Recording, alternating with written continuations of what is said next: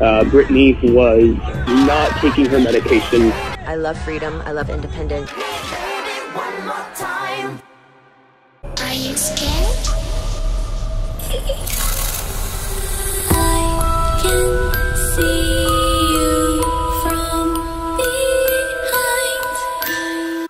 Herkese merhaba tekrardan hoş geldiniz. İlk defa geliyorsanız ben Işıl. Bugün son günlerde gündem olan ve on binlerce insanın Twitter, YouTube, Instagram ve TikTok gibi sosyal medya platformları üzerinden Free Britney yani Britney'i özgür bırakın hashtag ile çeşitli paylaşımlara değindiği ünlü sanatçı ile ilgili iddiaları inceleyeceğiz.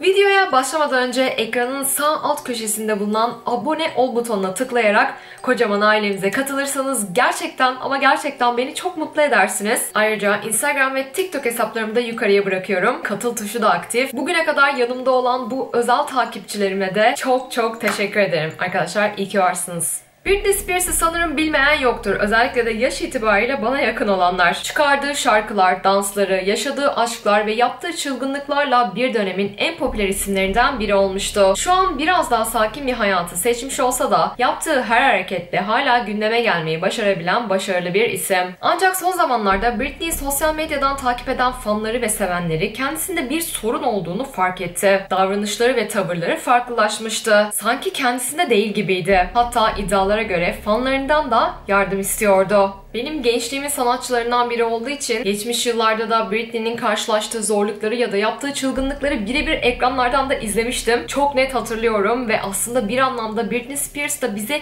bu sektörün ne kadar zor ve acımasız olduğunu ve akıl sağlığını korumanın da ne kadar önemli olduğunu dolaylı yoldan da olsa hatırlattı. Çünkü bildiğiniz gibi kendisi aslında sıradan bir influencer değil. Önemli bir sanatçı ve şarkıcı ve dansçı. Sektöre gerçekten çok genç yaşta girdiği için sanırım ki karşılaştığı zorluklar da bir o kadar fazla oldu. Hatırlamayanlar varsa aranızda yanlış hatırlamıyorsam kendisi 2007 yılında kafasını tamamen kazıdı ve elindeki bir şemsiyeyle bir paparazziye saldırdı. How are you doing? You doing okay? Concerned about you,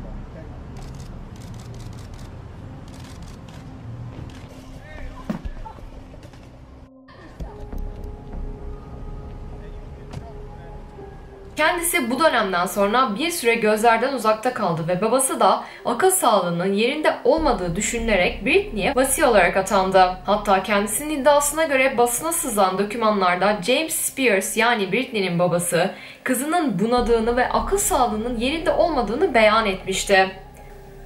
Bunamak ancak kendisi bu olaydan çok kısa bir süre önce sağlığı ve akli dengesi gayet yerinde olarak onlarca ülkede günler süren turneler düzenlemiş ve binlerce insanın karşısına çıkarak şarkı söyleyip dans etmişti. Ve 2007 veya 2008 yılında ise Britney Spears MTV MV ödüllerinde bir sürü ödül aldı. Akıl sağlığı yerinde olmayan birisinin bunları başarabilmesi mümkün mü?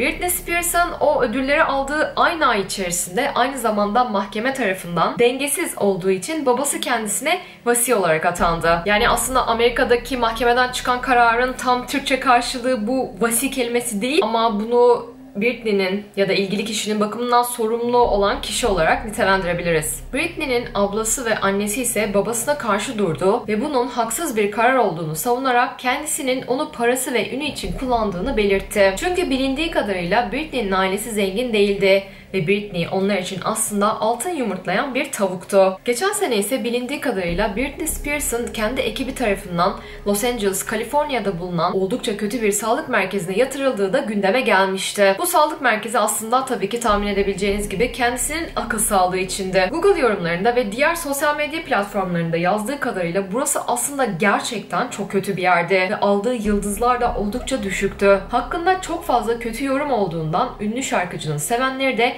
endişelenmeden duramadı ve internette Free Britney hashtag ile postlar atmaya başladı. Bunun üzerine Britney Spears Instagram hesabı üzerinden kendisinin oldukça iyi olduğunu belirten bir video yayınladı. Ama bu kimseye inandırıcı gelmemişti. Hatta kendisiyle zamanında gerçekten birebir olarak çalışmış ve onu gerçek hayattan tanıyan bazı sanatçılar bile davranışlarının normal olmadığını belirtmiş ve bu akıma yani Free Britney akımına destek vermeye başlamıştı. Hi just checking in with all of you who are concerned about me. All is well.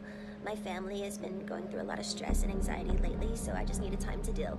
But don't worry, I'll be back. Evet, kendisi iyi olduğunu söylüyor olabilir ama bana pek öyle gelmedi açıkçası. Yani bakışları, konuşması, hareketleri yorumsuz.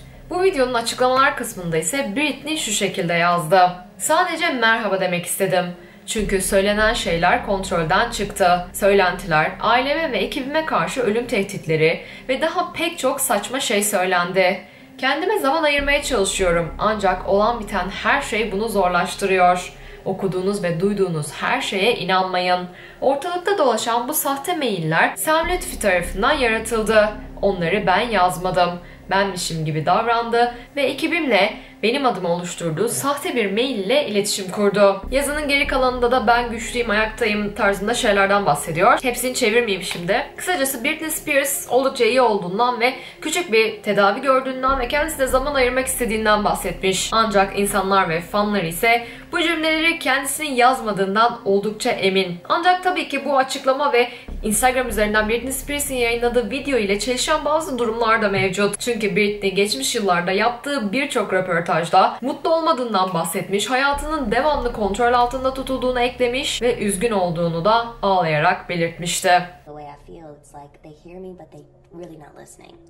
Sometimes it's like too much. Nobody could deal with some of that stuff like that.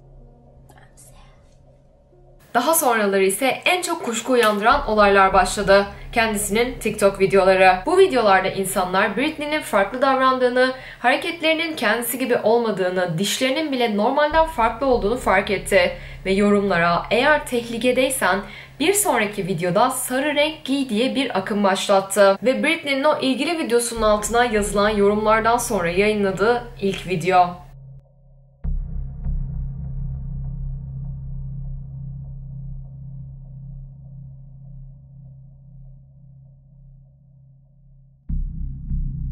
Bunun üzerine tabii ki tahmin edebileceğiniz gibi özellikle de komplo teoricileri diyelim internet üzerinden çılgına döndü ve kendisine bir şekilde ulaşmaya çalıştı ve ardından kendisinin sevgilisi, ailesi yani babası ve ekibi tarafından kontrol altında tutulduğu ve kendi özgür iradesinin olmadığı gibi konularda birçok söylenti yayıldı ve bu iddialarla ilgili sosyal medya platformları üzerinden pek çok video yapıldı. Britney iddialara göre son 12 yıldır yani videonun başında size gösterdiğim şeyler yaşandığından beri kendisine atanan bir vasi tarafından hayatı yönetilen biri. Devamlı ilaçla tedavi altında tutuluyor. Garip hareketlerinin ve bakışlarının da aslında sebebi bu. Kendisi araba kullanamıyor. Şarkı söyleyemiyor, alışverişe çıkamıyor, evlenemiyor ve hayatını yaşayamıyor. Hatta bir başka iddiaya göre ise ekibinin onayı olmadan sosyal medyayı bile kullanamıyor. Ayrıca bu konu Amerika'da da pek çok kez gündeme gelmiş ve hatta haber bültenlerine bile konu olmuş durumda. Gerçekten 40 yaşına gelmiş olgun bir kadının bu şekilde bir hayat yaşaması normal miydi?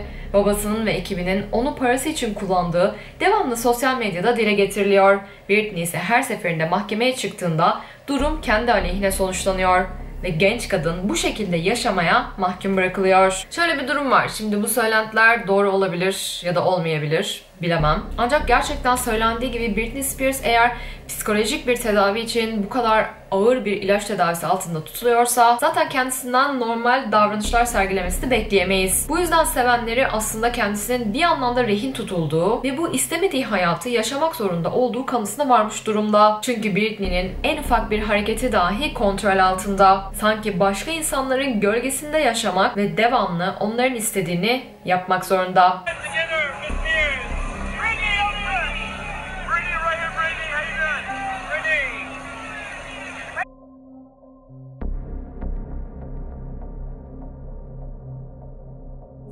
Evet arkadaşlar Britney Spears ile ilgili son günlerde diyelim Temmuz başından beri oldukça gündemde olan bir konu bu. Çünkü Amerika'yı ve dünyanın pek çok yerindeki kendisini sevenlerini, fanlarını gerçekten sarsmış durumda. Kendisiyle ilgili söylentiler her yerde birçok sosyal medya platformunda çalkalanıyor. Kendisiyle ilgili videolar yapılıyor. Free Britney hashtag'i özellikle Amerika'da Twitter'da trendlere girmiş durumda. Herkes kendisinden bahsediyor. Tabii ki ülkemizde elbette sevenleri vardır. Dediğim gibi özellikle benim yaşta olanlar ya da bana yakın yaşta olanlar biraz daha biliyorlardır kendisini. Çünkü biz kendisinin şarkılarını dinleyerek büyüdük. Büyüdük demeyelim ama dinlerdik yani zamanında. Her neyse. Dolayısıyla ben kendisini severim. Eğer bu iddialar gerçekten doğruysa, kendisi rehin tutuluyorsa veya hayatı tamamıyla başka insanların kontrolü altındaysa Bu 40 yaşında ve iki çocuk annesi bir kadın için ve bu kadar önemli ve iyi ve güzel bir sanatçı için insanlık namına da kötü ve üzücü bir durum arkadaşlar. Umarım böyle değildir tabii ki. Britney ile ilgili bulabildiklerim bunlardı. Siz de başka şeyler duyarsanız veya onlara denk gelirseniz mutlaka ve mutlaka yorumlara eklemeyi unutmayın. Sizlerin de fikirlerini biliyorsunuz ki her zaman ama her zaman duymak istiyorum. Bugünlük bu kadar. En kısa zamanda yeni videolarla tekrardan görüşüyoruz. Şimdilik hoşçakalın. Bye.